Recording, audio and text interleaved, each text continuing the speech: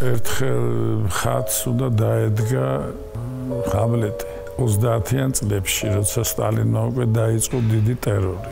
და მთავარი როლის შემსრულებელი, ანუ მომავალი ჰამლეტი, როცა სტალინმა კითხა რასაკეთებთო ხატში, უთხრა დგამთო ჰამლეტს. სტალინი ჩაფიქრდა ჰამლეტი. კი, მაგრამ ჰამლეტი ყო საბჭოთა გმირის იდეალი არ არისო. ეს ფრაზა იყო საკმარისი, რომ მოეხსნათ ჰამლეტი. საბედნიეროდ კლასიკას ჩვენ არ ვდგავთ ხოლმე იმიტომ რაღაც ხდება მიტინგებია თუ ერთმანეთ ესურიან უნიკალურობა შექსპირის იმაშია რომ ყველაფერს მოძებნი მაგრამ ამის გამო ჰამლეტს ვერ დადგა. იქ დედა რთული პრობლემებია რომ ეხლა ვიღაც სრუ პოლიტიკოსის გამო მე სპექტაკლი არ დამიდგავს Кембер залишився.